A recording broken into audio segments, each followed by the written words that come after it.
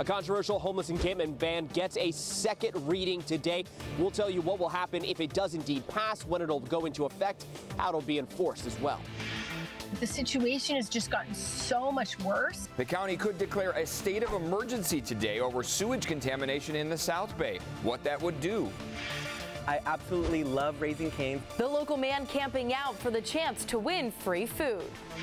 And we start off the morning with some clouds yet again, but those clouds will be no match for the sun once it comes out. We'll be talking another day of warm temperatures and how warm we could get by the end of the week. It's 6 a.m. on Tuesday, June 27th, and you're up with CBS 8.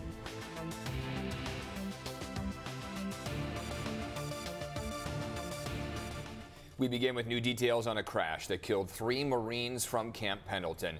Some tough news to bring you here this morning. This happened in Los Angeles on Saturday morning. The fiery single vehicle crash on the 5 in Downey left a total of four people dead. CHP says the car hit a guardrail and slammed into a wall, splitting it in two. You see all the damage there. All the victims sadly pronounced dead on the scene. Two of the Marines were assigned to Combat Logistics Regiment 1, 1st Marine Logistics Group. The third was assigned to the 15th Marine Expeditionary Unit. No names have been released at this point. The crash is under investigation. Our other top story here, the city of San Diego's controversial homeless encampment ban is up for a final vote here today. Thanks for joining us. I'm Eric Kahnert. And I'm Dana Marie McNichol, filling in for Neda Iranpour. Now, the ban has been met with fierce criticism, but if approved today, it will take effect in 30 days. Now, CBS 8's Chris Grow, he's live along Harbor Island right now with both issues making their statements. Chris? Yeah, good morning, Eric and Dana Marie. And this is also coinciding with a safe sleeping space that's opening up on 20th and B that allows for the city to go ahead and get this in place 30 days after its vote. So, again, that was a bit of a caveat. Remember when this first passed, uh, again, there in the past year with that 5 to 4 vote. Now, critics of this ordinance have been pretty loud and pretty vocal ever since it was even first proposed. And you can see them there. They were protesting over the weekend. They claim that there are simply not enough shelter beds or sleep, uh, safe sleeping spaces available here throughout the city in order for this to be enforced. Now, when and if this does indeed pass, it prohibits tent encampments in all public spaces throughout the city if shelter beds are available. But that caveat would go away if those shelter, excuse me, if those encampments are in places like parks, canyons, schools, transit stations, or homeless shelters, there would not need to be any shelter capacity for officers or other first responders to go in and enforce this ban. Now, that was a big question. How will this be enforced? Well, according to Mayor Todd Gloria's office, people will be given three chances to accept shelter. And if they don't on the third encounter, they will be arrested. Mayor Gloria says that over the next several weeks, they will be training first responders, everyone from homeless outreach workers to police, to make sure everyone understands how this ordinance will be enforced. Now, of course, this will be something that will be read and voted on later on today. As for that safe sleeping site, again, 20th and B. You can read more information on that as well as this encampment ban by going to CBS8.com and clicking on that story link. Eric and Dana Marie. Chris, thanks for that. Now to another huge issue for our community. This morning, the County Board of Supervisors discussing whether to declare a local state of emergency over sewage contamination in the South Bay. That's right. Chairwoman Nora Vargas and Vice Chair Terra Lawson Remer, they will introduce a policy which would direct staff to assess economic impacts and also pursue all available funding. They also want the White House to declare a federal state of emergency. For decades, contamination from the Tijuana River has closed beaches in San Diego. Listen to the numbers. According to the U.S. International Boundary and Water Commission, since 2018, more than 100 billion gallons of sewage have entered the U.S. through the Tijuana River. 35 billion gallons have crossed the border since December 28, 2022 the situation has just gotten so much worse because of what's also happening now. It's not just one source of pollution, which has been for a long time, which was the Tijuana River Valley. Now we also have the second source of pollution, which is the sewage coming just straight up the coast from the broken sewage treatment plant down at Punta Bandera. So it's double the source of the problem. The Board of Supervisors meeting begins at 9 a.m. This morning, there is a growing memorial in Encinitas for a 15-year-old who died after an e-bike crash last week. The, the family of 15-year-old Brody Braxton Champlain Kingman announced yesterday that the teenager sadly had passed away. Now, this crash happened on South El Camino Real, just south of Sylvan. Sheriff's Department says he changed lanes and collided with a work van. This deadly crash comes at a time when the city is already working to promote safety and strengthen rules for e-bike riders. Encinitas is considering making it illegal for people to give rides to passengers on their handlebars. I see this happening all the time in my neck of the woods. Offenders could be ticketed or would need to attend a bicycle safety course.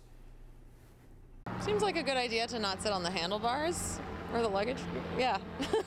yeah, probably. I think it's a good idea. You know, people drive a little crazy around here.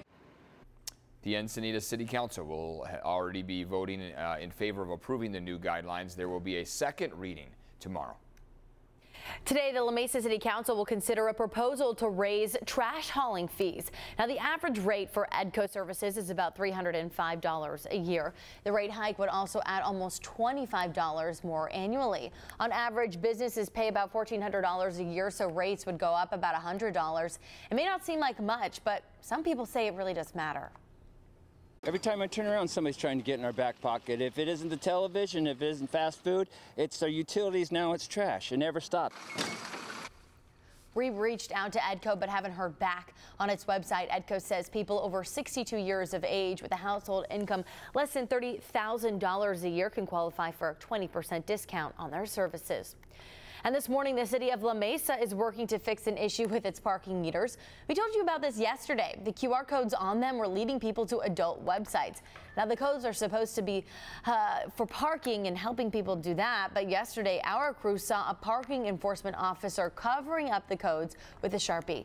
The city tells us it did reach out to the vendor about the problem. They clarified the parking app needs to be open before scanning the QR code.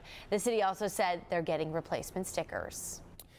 Well, what would you do to get free food for a year? This morning, a man is camping out in front of a new Raising Cane's in Rancho San Diego ahead of today's grand opening. Arturo Gonzalez is his name, and he has been there since 6 yesterday morning. He plans to be out there until they open up at 8 a.m., so under two hours now. He wants to be the first person in line, and he is there right now. Gonzalez will be, because of that, getting a special gift basket and a chance to win free food for a year. Gonzalez says he was sold on Cane's from the very first bite. I thought, oh, it's just chicken fingers and toast. And then when I took my first, very first bite, I was absolutely blown away at just the quality and then the friendliness of the staff.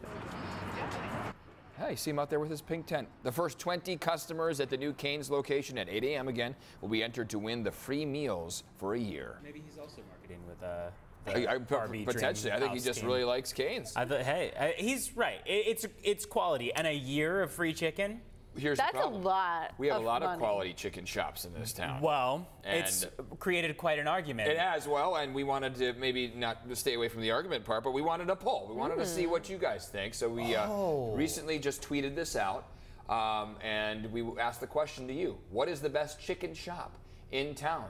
Raising Cane's, Chick-fil-A, Popeyes, or other. And when you when you fill out the other, please retweet because we want to know uh, what you guys are saying out there. Um, so yeah, looks like right now in the lead. Dead uh, tie. Uh, Chick fil A and Popeyes are tied. As a moment ago, it was Popeyes in the lead, so some Chick fil A folks Ooh. just jumped on board. There we go. And it's surprising there that Raising Cane's not doing super impressive on there, 14%. So we'll wait. There, we can get more people, make it a little bit more, uh, you know, uniform and see what people have to say. But I'm curious. Have people said what their others are? Dave, yes. Dave's Hot Chicken, someone weighed in on. Okay. And then David in National City said that the uh, golden chopsticks, the pepper, salt and pepper wings wow. there are really good. Okay. So, yeah, keep on telling us. Uh, oh, Royal Mandarin is another one that someone says is, uh, is very good too. So. Is Raising Cane's very popular here in San Diego? Are there a lot of locations? No, I don't think so. This is the second one. Yeah. Okay, so up. maybe yeah. it just needs to grow in, po in exactly. popularity because I've never had it, so, so I can't even vote. Having gone to college in Orange County, it yes. is very popular in Orange yep. County. Okay. People, it was always an argument amongst my fraternity brothers and I of like, should we go to Chick Fil A? Should we go to Raising Cane's? I always favored Chick Fil A. But I felt Chick Fil A slipped a little bit, so I'm, I'm looking to okay. just explore Raising yeah. Cane's. So maybe we may have to have an outing. What a heated debate! Field trip. I know, right? I know. This is what we're dedicating more and more time to, and I love it.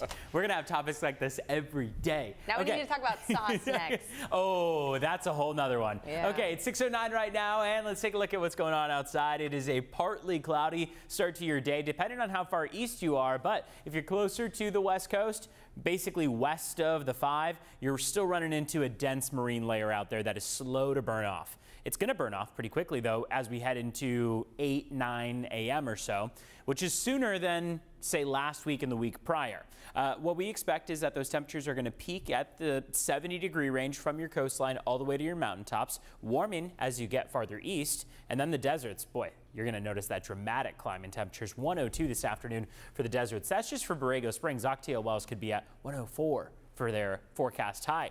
Cloud cover, again, pretty dense out there, stretching to Ramona, Valley Center, also seeing some of that cloud cover. Clouds will start to break apart pretty quickly into the forecast into that 8 o'clock hour. Current temperatures walking out the door, you are at 59 degrees. Good morning to you in Encinitas. 63 in downtown San Diego, 59 for El Cajon to start off the day. Ramona at 47 degrees and Escondido at 56. And wind speeds. Winds are going to be picking up this afternoon. So Although we did see a wind advisory expire at 5 a.m. just over an hour ago, we're still going to be breezy. Not exactly criteria level, but it's going to be breezy. 10 to 20 miles per hour from the coast to your mountaintops, 20 to 30 miles per hour, and in some cases toward this uh, evening, we could be climbing, climbing near 40 miles per hour for Borrego Springs. So watch out for those gusty west winds. Let's take a look at traffic now. It's 6:11 on the clock. Here's a look at border wait times from the CBP website. It is a 50-minute wait right now for the San Ysidro Port of Entry, 45 minutes minute wait at the Otay Mesa port of entry. Once you get into San Diego County, you can head to our website, cbs8.com slash traffic. It's got the latest on how your roads are looking